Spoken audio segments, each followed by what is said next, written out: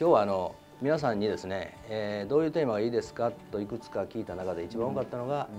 うん。うん、IoT と AI が日本経済に与えるインパクト、はい、ということらしいんですね。もう堀江さんの本当大得意中の得意の領域 でそもそもですね、はい、IoT ってね何だって考えて私の素人考えてですよ、うん、そんなん昔からやってるじゃないかと、うん、そんなの名前付けただけちゃうかと。あそうですそうですか、はい、やっぱり。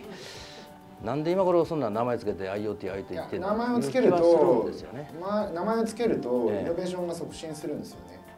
ええ、みんなだからいろんな名前をつけようとするんですけどあのた例えばだから IoT 以前にもなんかいろいろ多分言葉あったと思うんですよ。よくないのは消えていってるんですね。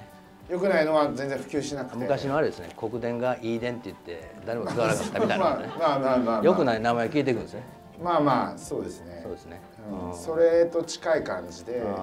えば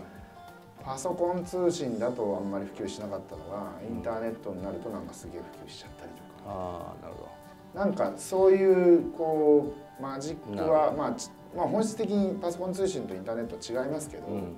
まあだけどそのね、コンピューターを使って通信をするっていう意味で言うと、ね、まあ似て非なるもの、うん、だけどまあ似てる部分も結構あるわけじゃないですか、うん、だけどインターネットって言ったらまだわーっと普及していったりとか、ね。うん、なんかマジックワードがあってそのマジックワードが出てくるとキャズムを超える瞬間がボーンとあったりとかするんだと思いますよ、多分、ね、例えば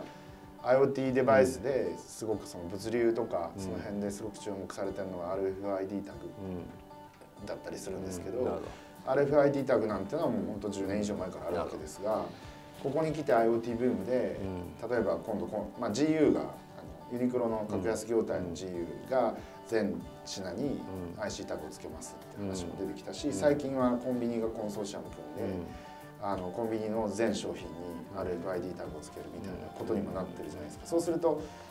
あの製造コストが、ロットがものすごく出るんで、製造コストがガンと下がって、まあ、1個何十銭っていうレベルになってくれば、実用的に普通に例えばパンに IC タグをつけるとかってことが可能になってくるわけで、そうすると現実味を見てくるじゃないですか。スマートチェックアウトみたいなことで、まあ、コンビニの無人化みたいなのも多分視野に入ってくると思うんですけどそういうことじゃあまあかなり広いですけど要は大量の情報を効率よく処理して、えー、うん、そのビジネスに生かしていくものですか？IoT とはって言われたら。僕らプログラマー的な視点から言うと、そのコンピューターネットワーク上までしかソフトウェアプログラマーはプログラミングできなかったのが、うん、IoT によってリアルのものを動かせるようになったっていうか、うん、つまりプログラム全ての世界がプログラマブルになったっていう感じですね、僕からしたら。